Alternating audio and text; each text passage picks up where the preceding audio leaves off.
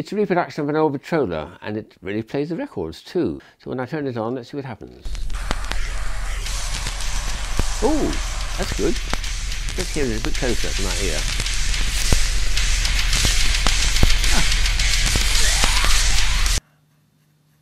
This is not a toy, it's a real working telephone. You lift it up, you'll hear a voice and it says, oh, yeah, well, it's for you. You better beg for it. Little van which will play the record for us. It will then make the record work.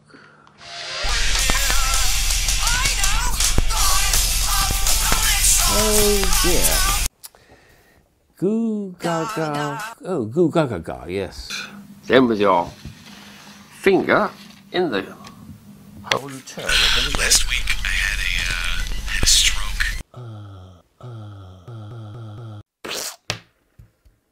what happened there? Place the needle on the record, just a light bit of plastic. Turn the handle and it starts talking Japanese to you.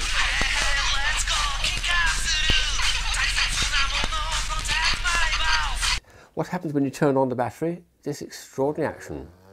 Oh my, oh my, oh my, look at that barrel. Here's a Beatle band. Oh, they're starting to move. And now they're ready to play the piece. Come on, boys, let's hear you all playing. Loud, loud, and loud. He's doing well and she's... Oh, yeah. It's got two red nuts in it. There's a little red knob. Just rub it out. Backwards like this and turn around like that and with a bit of oomph and oomph and oomph. And then you put it behind your back and under your leg, and some people do two or three at a time, which is astonishing. I can blow my brains out with a bang.